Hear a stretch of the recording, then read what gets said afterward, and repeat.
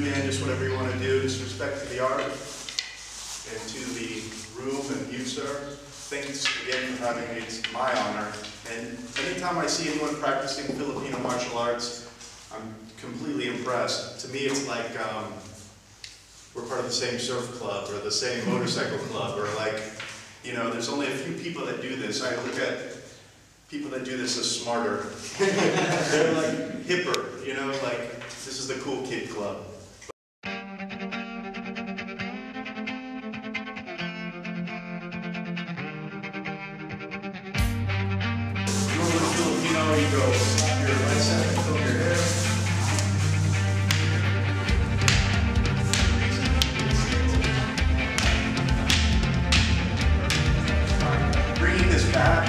Stretching your chest out, it'll keep it clear to the hips. Hit, have the other one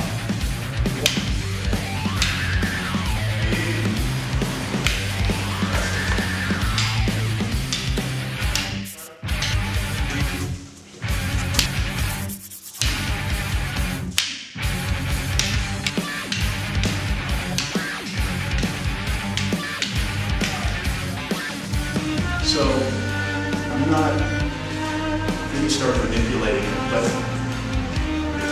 I don't know, simple is advanced, and advanced is simple, I guess. Yeah, too. Like, It's gonna help these, these.